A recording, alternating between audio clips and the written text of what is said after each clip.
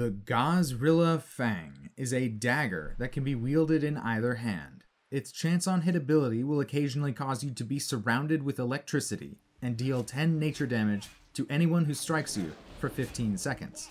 This damage does not scale with the plus spell damage stat.